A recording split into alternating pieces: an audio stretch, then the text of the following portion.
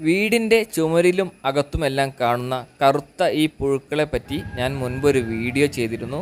അപ്പോൾ ഒരുപാട് ആളുകൾ ചോദിച്ച ചോദ്യമാണ് ഇത് എങ്ങനെയാണ് ചുമരിൽ വരുന്നതെന്ന്? അതിനുള്ള ഉത്തരമാണ് ഈ വീഡിയോയിലൂടെ ഞാൻ നിങ്ങൾക്ക് മുന്നിൽ പങ്കുവയ്ക്കുന്നത്.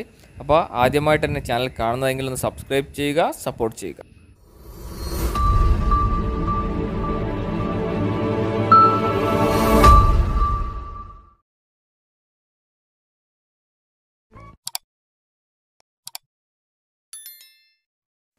മഴക്കാലത്താണ് ഇവയെ കൂടുതലായി വീടിന്റെ ചുമരിലും മറ്റും കാണുന്നത്. എന്നാൽ മഴയൊക്കെ മാറി നല്ല വെയിലുള്ള കാലാവസ്ഥ വന്നാൽ പിന്നെ ഇവയെ കാണുകയുമില്ല. എന്നാൽ അടുത്ത വർഷക്കാലത്ത് വീണ്ടും ഇവയുടെ ഉപദ്രവം ചുമരിൽ നമുക്ക് കാണാൻ സാധിക്കും.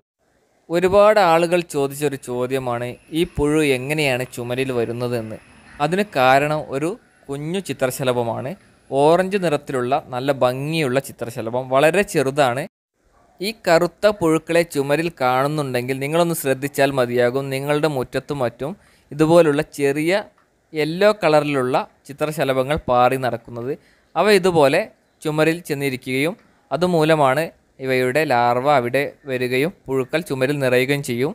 പക്ഷേ ഈ ചിത്രശലഭം പറക്കുന്ന സമയങ്ങളിൽ നമുക്ക് വെറും യെല്ലോ കളറിൽ മാത്രമേ ദൃശ്യമാവുകയുള്ളൂ. അടുത്ത് ചെന്നാൽ മാത്രമേ ഇവയുടെ ഈ രണ്ട് കളർ നമുക്ക് ദൃശ്യമാവുകയുള്ളൂ. ഇതുപോലുള്ള ചെറിയ ചിത്രശലഭങ്ങൾ നിങ്ങളുടെ വീടിന്റെ പരിസരത്ത് പറന്ന് നടക്കുന്നത് കാണുന്നുണ്ടെങ്കിൽ നിങ്ങളുടെ വീടിന്റെ ചുമരൊന്ന് ശ്രദ്ധിച്ചാൽ മതിയാകും. പുഴുക്കളുടെ വരവ് തുടങ്ങിയിട്ടുണ്ടാകും. അപ്പോൾ ഇവയെ എങ്ങനെ നശിപ്പിക്കാം ഇതിൽ നിന്നുള്ള കാര്യങ്ങളൊക്കെ ഞാൻ മുൻപത്തെ വീഡിയോയിൽ പറഞ്ഞിട്ടുണ്ട്. അതിന്റെ ലിങ്ക് ഞാൻ ഡിസ്ക്രിപ്ഷനിൽ കൊടുക്കുന്നുണ്ട്. വളരെ ചെറിയ ചിത്രശലഭങ്ങൾ ആയതുകൊണ്ട് തന്നെ ഇവ വീടിന്റെ ഉയരമുള്ള ഭാഗങ്ങളിൽ വന്നിരുന്നാൽ നമുക്ക് കാണാൻ സാധിക്കില്ല. അതുകൊണ്ട് തന്നെ ഇവയെ അങ്ങനെ നശിപ്പിക്കാനും നമുക്ക് കഴിയില്ല. പക്ഷേ ഇവയുടെ ലാർവ രൂപപ്പെട്ട് കഴിഞ്ഞ് പുഴുവായി കഴിഞ്ഞാൽ പുഴുക്കളെ നമുക്ക് മരുന്ന് തെളിച്ച് നശിപ്പിക്കാവുന്നതാണ്. അതെങ്ങനെയെന്ന് ഞാൻ മുൻപത്തെ വീഡിയോയിൽ പറഞ്ഞിട്ടുണ്ട്. അപ്പോൾ ഞാൻ നിങ്ങൾക്ക് കാണാൻ വേണ്ടി ഈ ഒരു ചിത്രശലഭത്തെ ഒരു കവറിന് ഉള്ളിലാക്കിയതാണ്. അപ്പോൾ പറക്കുമ്പോൾ നമുക്കൊരു യെല്ലോ കളറിൽ മാത്രമേ ഇവയെ കാണാൻ സാധിക്കുകയുള്ളൂ.